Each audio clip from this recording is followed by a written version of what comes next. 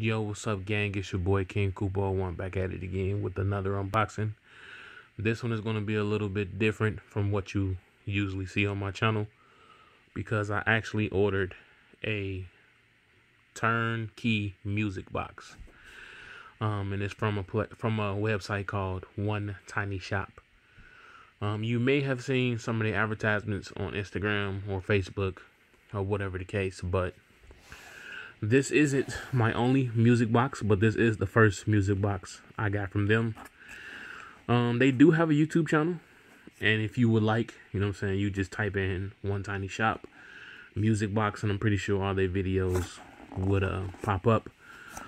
But uh, I actually ordered a Inuyasha music box from them, and it was not, you know, super expensive. I think it was like maybe like $25 shipped or something like that. And I was under the impression that the shop was actually from overseas, but they are not. They are actually um, located in California, I believe. Or at least that's where my music box was shipped from, California. So I'm assuming that's where they came from. But I, you know, I like to look at everything before I, I make a purchase or whatever the case may be. And like I said, they have a YouTube channel, but, you know, it's from them. I wanted to see, you know, a video from a regular person, which I didn't. So um, I decided when I got mine in, I would do an unboxing. That's what I'm doing now. And as you can see, they killed the game with the packaging. Like, it's packed very well. And um, they have a lot of customization options uh, for your music box. You know what I'm saying? If you would like to order one yourself. Um, they got different shapes, different um different types of boxes. And uh, they also have boxes with like mirrors. You can get them get a custom um, message put on them or whatever the case. But i just got a standard regular music box. And like i said this is they killed the game with packing. A few a few gaming companies can take a lesson from them. But this is the box itself there is the turnkey underneath the box. And um yeah, man. That's what it looked like. So Inuyasha is a very well known top tier anime, you know what I'm saying? Um me myself, I used to watch it late at night on Toonami. I think this is before Toonami actually was called Toonami. It was just called Adult Swim. And yeah, man, it's that show came on super late at night, and you know what I'm saying, Kagome Inuyasha.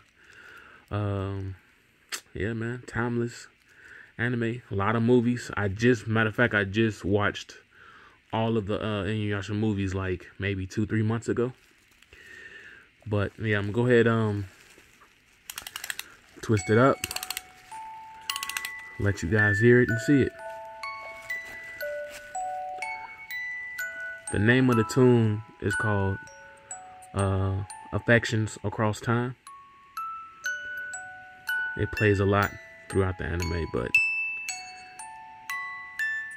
but that's pretty dope.